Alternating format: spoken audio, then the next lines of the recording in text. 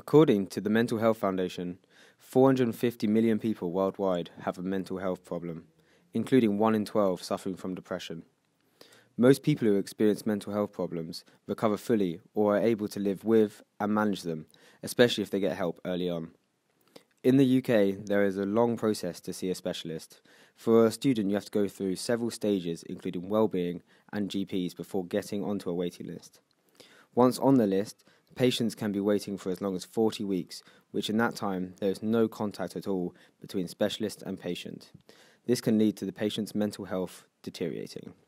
The British Medical Association investigated the NHS. They found that 1 in 10 CCGs and just over half of the mental health trusts keep a record of how long patients are on waiting lists for.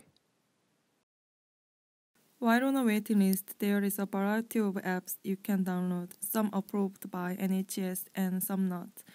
The apps had some positives and negatives. For example, the NHS where mind and mood pass aims to change your perspective on the day.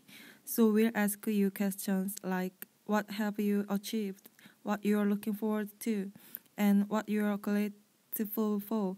The app is informative about the different parts of the body and about anxiety, stress, and depression. These apps may help some people as it gives them a place to write about their problems and record their feelings on a daily basis. We found that people can write as much as they want, but that doesn't mean anyone is reading it. People are talking, but no one is actually listening.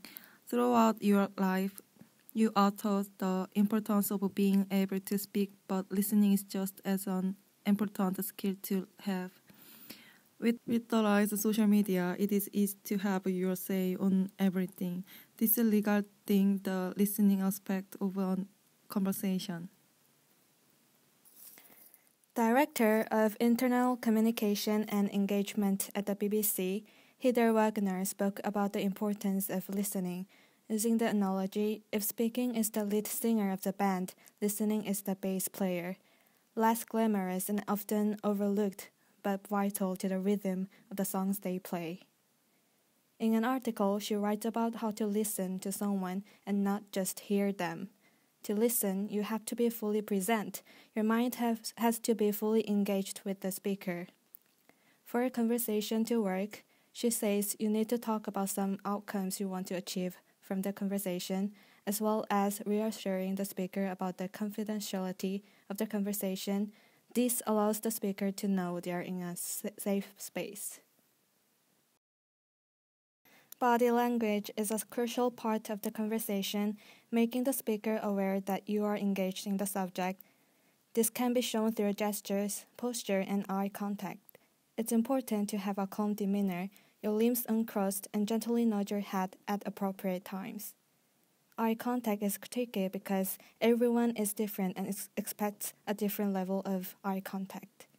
Too much eye contact with someone that is nervous can be off putting. At the same time, too little eye contact with someone who's more confident in what they're saying can convey that you aren't listening. You can use a mirroring technique where the listener spends the first couple of minutes observing the speaker, watching how often they break eye contact this is their preferred level, which you can then mirror, keeping the speaker in their comfort zone. After doing this research, we found that truly listening to someone is hard and is unknown to many people. Carl Rogers said that we think we listen, but very rarely do we listen with real understanding, true empathy. Yet listening of this very special kind is one of the most potent forces for change. With this in mind, we need to adapt so society can change for the better. Listening is especially important when it comes to mental health. The Prince Edward Viaduct in Canada had reported 492 people commit suicide off of the bridge. The government decided to spend $5.5 million installing steel rods all the way along to prevent people from jumping off. This is a short term solution. All that money spent and they haven't helped anyone, but only moved the problem to a different location. Everything starts with listening. Bridges in Seoul, Korea had telephones installed so that if someone went to the bridge to jump off, they could use the phone to talk to someone. This outlines how important listening is. The people on the other side of the phone call are trained to listen to those in distress. There are many cases where listening has helped people struggling with their mental health. This started with Aaron Beck, who came up with CBT because he believed that, that letting a patient talk through their problems is the most beneficial way of recovery. Listening training is used in the UK for services like Nightline and Dedicated Listeners at Goldsmiths. Dedicated Listeners is a student run society for students to come to and talk about anything they want. The students who run it are trained to listen, using the correct verbal and body language to make sure the speaker is comfortable and knows they are in the safe place. Training, trained listeners are not there to give advice or opinions, but only to listen. This service has helped a lot of people in the past. Ironically, when we went to talk to them about our project, the dedicated listeners were not there to listen. They have experienced trouble with organizing listeners to attend their sessions as they don't have many volunteers. Why should people have to seek trained listeners when everybody should already be a trained listener? Mark Twain said if we were meant to talk more than listen, we would have two mouths and one ear. We spoke to Elena Pope, a psychotherapist working in London. She said that listening is the pillar of mental health, meaning that listening is the thing that prevents everything from falling apart. She talked about active listening and that to be fully engaged in what the other person is saying, you need to be listening with your whole body, not just your ears. She explained that 60% of communication is done through body language. Mirroring someone's body language shows that you care about what the other person is saying. This related to our previous research on technical listening in order to keep the speaker comfortable use open body language. We spoke with Emma Howitt, a dancer and choreographer, about using your whole body to listen, and she gave us walking talking exercise to do where one person is the listener and the other is the speaker. As you're walking and talking, the listener will choose the speed and route you take. Your listening becomes a full body sense and much more about noticing. Using listening as a way of noticing the world around you how can you use all your senses to know when somebody maybe needs to talk or when somebody needs to be heard? Because maybe they can't say, hey, I need to talk, or call up a line, or make a decision to go to a talking group in the sense of mental health if they don't know themselves yet.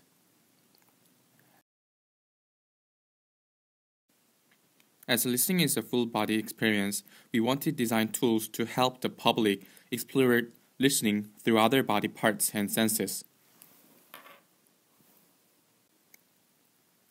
Our aim for the tools is to use mirroring techniques so that the listener becomes self aware of their own body language through mirroring someone else's.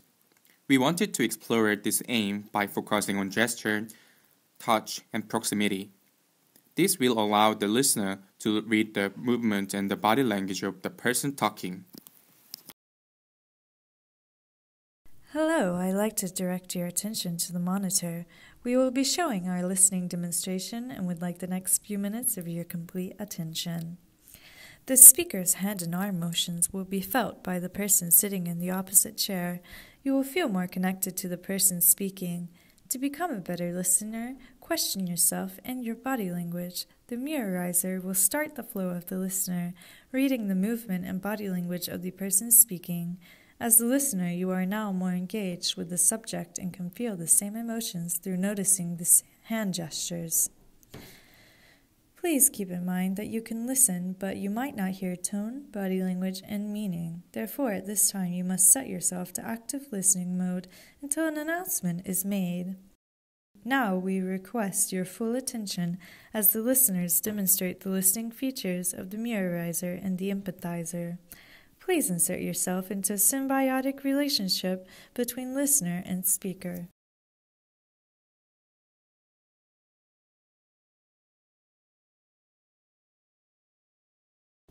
When the listening sign illuminates, you must strap wrists, arms, ankles, and legs tightly. In the event of the speaker smiling whilst talking about a bad experience, you should only be reflecting what you really hear. Do have an open body language, lean in and nod to show interest and comfort the speaker. Please remember to be present to what you are transmitting through your body language.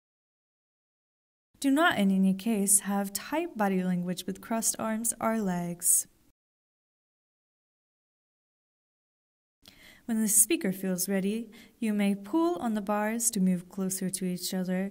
In this case, you will notice as you get closer, you will have more freedom to move. You are now at a comfortable stage in the conversation where the speaker feels like you are fully engaged. You must place your hands on the pencils. Please keep your hands loosely on the pencil. We suggest that you ensure your hold on the pencil is comfortable throughout the listening, as we may experience emotional turbulence. Please do not go against the speaker's drawing process. If you do not understand what they are saying, inquire. Never make assumptions about what the speaker is saying. The pencils can follow each other by moving them to a comfortable position in the direction of the person you are listening to. The speaker should have complete freedom. If the speaker is using this pencil to describe something, they are speaking with this pencil.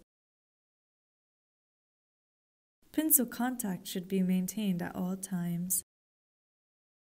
If you are listening, you are required to guide your own pencil to the same movements simultaneously then assist listening to the person's emotions through the vibrations and direction of the pencil. The boundaries of listening are not to be crossed.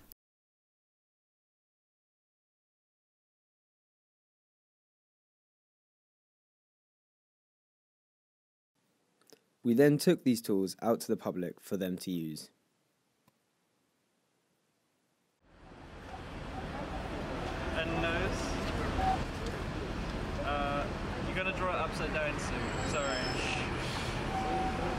And so we're kind of like going at the point that how important listening is in um, in that sort of uh, that, that subject. And it definitely sums up interpretation as Yeah. well, because you don't get it 100%. Yeah, hundred percent. I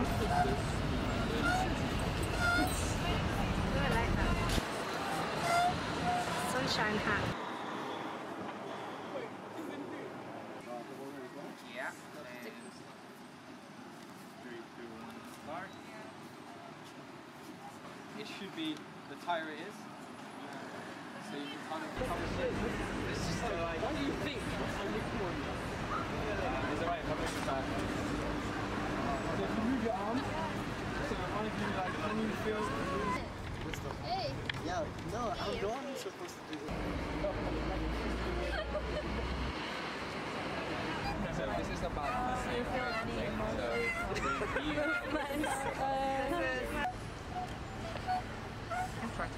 read this. And some hair. So the leg one's a bit loose. The tools we have created is just the start. Listening can be transmitted through many other senses and body parts, which we intend to explore. Taking our tools to the public has shown us that people are wanting to learn about the importance of listening, especially when it comes to mental health. It's a skill that everyone is aware they could be better at, and by using our tools like ours, it's a fun, interactive way to educate each other about listening. Through noticing the slightest vibrations through a pencil or feeling quicker gestures with your arms and legs, you can feel the person's emotion through other senses. Your eyes and ears don't even matter at this point. This is the start to becoming an active listener.